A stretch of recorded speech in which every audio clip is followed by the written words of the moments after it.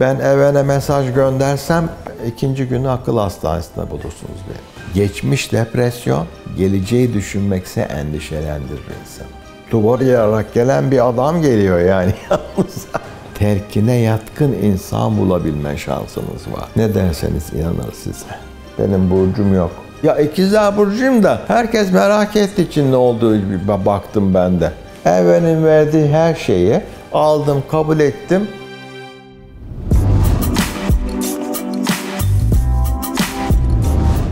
Canlılar, buna sinek dahil, kuş dahil, bütün omurgalılar dahil sürekli arayış içindedir. Hayvandaki arayış davranışı genellikle beslenme üzerinedir. Avını arar, beslenmek için bir şey arar. Balık dahi böyle bir şey. Bütün canlılar böyle.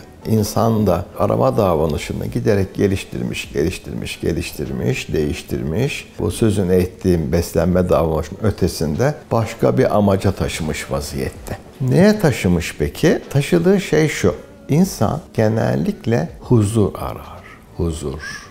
İnsan aramak zorunda. İnsan doğası itibariyle stasyoner, durağan kalamaz. İnsan bir adım yaratabilmek için, bir adım yaşadığı dünyayı geliştirebilmek için, mümkünse başka dünyalar bulabilmek için, mümkünse başka türlü bilimsel açlık denen bir kavram var. Bugün astronomlar bir dağın tepesinde ıssız yerde gece gündüz aylarca kalarak gökyüzünü tarayarak yeni yeni galaksiler keşfediyorlar. Bu meraktan öte başka bir şey değildir. Bu bilimsel merak. Bilimsel merak çok önemli. İnsanlığı ve geliştiren bugün yaşadığımız teknolojik ne varsa bilimsel meraktan kaynaklanan bir arayıştır. Arayış olmasa insanlık olmazdı. Arayış olmasa toplumlar olmazdı. Arayış olmasa demokrasi denen bir kavram bile gelişemezdi. Herkesin ağzında bir mutluluk kavramı var. Herkes daima mutlu olsun. Hiç önüne bir engel çıkmasın. Hiç onunla uğraşmasın gibi bir tablo, bir duygu, bir durum, bir e, hal, bir vaziyet yani mutluluk kavramı. Aslında daima mutluluk yoktur. İnsanda anksiyete denen bir kavram var.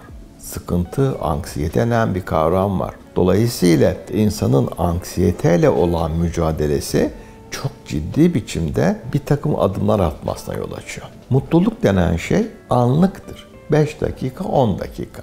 Ondan sonra iç sesinize yenilirsiniz. İç sesiniz sizi mutlaka mutlaka huzursuzluğa götürür. Mutluluk olmadığına göre insanda daima var olan şey huzuru yakalama arayışıdır. Huzuru yakalama mutluluğu yakalamak kısa süreli için mümkündür. Uzun süreli mutluluk pek mümkün değildir. Mutluluk havada uçuşan bir kavramdır adeta. Herkesin peşinden koştuğu havaya giden balonlar gibi. Peşinden koşarsınız yakalamanız çok zor. Ama e, yakalayacağınız bir şey var. Onun yerine bir kavram var. İyi olma, well-being kavramı. Well-being kavramı huzur kavramının bir altında olan bir şey fizik özellikle taşıyor iyi olmak. Sağlık olarak iyi olmak, zihin olarak iyi olmak, ekonomik olarak iyi olmak gibi bir kavram. Huzur bunlar elde etmesinden ortaya çıkan işte Maslow'un teorisinin temelindeki şeylerden bir tanesi. İnsanın kendini aşması gibi bir şey. İnsanın kendini aşması ise merakla olur bilimle ilgili bir eğitim almamış insan, bazı alanlarda bilgisini genişletmemiş insan bir takım uçuk kavramların peşinde koşabiliyor. Bu uçuk kavramlar neler? Kuantumsal şifacılık. Kuantum anlamak çok zor. Kuantum fiziği ilgili İngiltere'de master yapmış bir arkadaşım var. Onunla görüştüm bana bu kuantumun ne olduğunu anlat diye. Alıştığımız fiziğin ötesinde bir kavram bu. Dolayısıyla bizim yaşadığımız dünyadaki kurallarla anlaşılması çok zor bir kavram. Kuantumla ilgili e, ne kastettiklerini anlamak bile çok zor. Biyoenerji e, denen kavram bize, aktüel kültürümüze bir şekilde girdi. Bunu ispatlamaya çalışan insanlar da varlar. İnsanın aslında bedeninde ciddi bir elektrik yükü var. Elektrik yükü olmasa beyin çalışmaz. Mikrovolt seviyesinde oluşan bir yük var. İnsan bedeninde de bir elektrik yükü var. Yünlü elbisenizi çıkarırsanız çıtırdar değil mi saçlarınızdan dolayı? Bu ciddi biçimde bir sürtünmeyle ilgili bir e, enerji kavramı ama gelip geçici ben sürekli bir e, enerji gibi bir şey. E, bu enerji bir biyoenerjinin kendisi. Yani bunun herhangi bir şekilde bir şifayla bir derde çare olmakla herhangi bir ilişkisi bilimsel anlamda söz konusu değildir. Yoktur böyle bir şey. Bakın e, kültüre uyumlu olan düşünceler var. Bilimsel olduğu açısından ciddi biçimde ispatlanmamış, fizik olarak ispatlanmamış, bilimsel olarak kabul edilemeyecek şeyler var. Bunlar kültüre uyumlu. Kültüre uyumundan kasıt şu, toplumun birlikte inandığı şeyler. Nazar kavramı da böyle bir şey. Örneğin bu toplumda büyü yapmak gibi kavramlar var. Bunlar kültüre uyumlu sayılabilir. Mesela üç harfler kavramı var. Fal bunlardan biraz daha farklı. Ee, mesela astroloji. Ee, bunlar kültüre uyumlu sayılabilir. Pek çok insan günlük yaşantısını hastalık hali olmadan geçirken bu tür inançlarda bulunabilir. Bunlar kültürel uyumlu olarak düşünülebilir yani. Pek çok insan telkine yatkındır. Yaklaşık %10, %15 kadarı telkine yatkındır. 20 milyonluk bir İstanbul'da. Neresinden bakarsanız bakın 2 milyon, 3 milyon kadar terkine yatkın insan bulabilme şansınız var. Ne derseniz inanır size.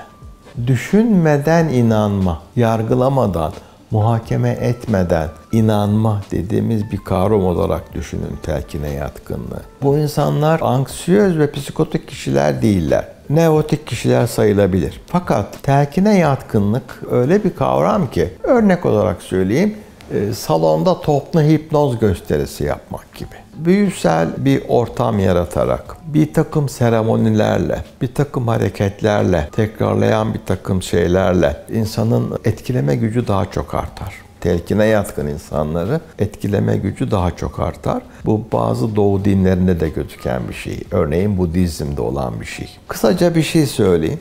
Buna adıkları huzur aslında. Huzur arıyorlar, huzur. Nerede huzur bulurlarsa onu arıyorlar.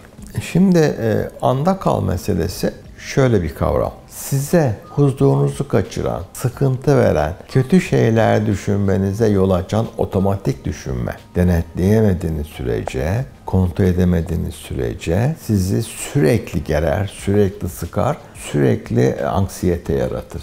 Eğer geçmişe dönerek e, bunu günlük hayatımızda çok sık görürüz. Mesela meşgul olmayan bir beyin bir şeyle meşgul değilse, beyin bir başka bir şeye konsantre olmamışsa, bulaşık yıkarken, çamaşır yıkarken, temizlik yaparken insan sürekli düşünür. Bu sürekli düşünme, iç ses, buna inner speech ismi veriliyor. Ee, iç ses geriye doğru giderse, geriye doğru gittiği zaman bundan 40 sene önce kayınpederinin, kayınvalidesinin ettiği kötü bir lafı hatırlayarak o sıkıntıyı bugüne taşır. Aslında bu adamlar vefat etmişlerdir ya da etkisizleşmişlerdir. Geçmişte yaşadıkları üzüntüyü bugüne taşıdıklarından dolayı da yüzleri hiç gülmez. İşte gelecekle ilgili söz konusu olduğu zaman da sürekli endişe yaratır. Bu kısaca şunu söyleyelim. Geçmiş depresyon, geleceği düşünmekse endişelendirir insanı. Mesela Descartes'in bir lafı var. Benim için yaşam üç gündür.